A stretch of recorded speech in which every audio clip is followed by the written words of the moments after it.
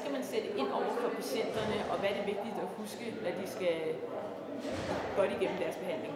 Ja.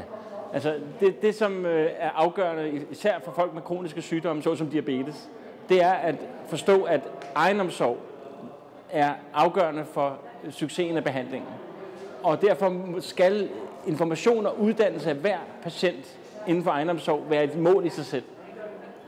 Og øh, hvilke udfordringer stiller det rent kommunikationsmæssigt?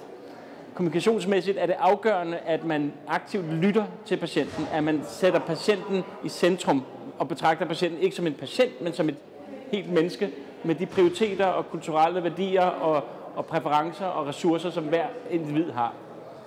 Og så, så, hvad, så hvordan, skal man, øh, hvordan skal man håndtere kommunikationen mellem patient øh, og læge i fremtiden?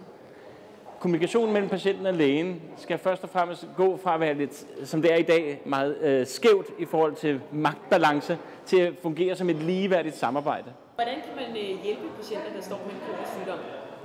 Først og fremmest ved at se på mennesket og, og ikke kun på patienten.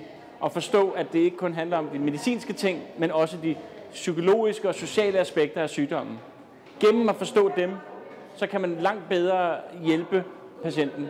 Gennem at invitere patienten til samarbejde om behandlingsplanen, så kan man langt bedre sikre, at hver patient får en realistisk behandlingsplan, der kan virke i fremtiden.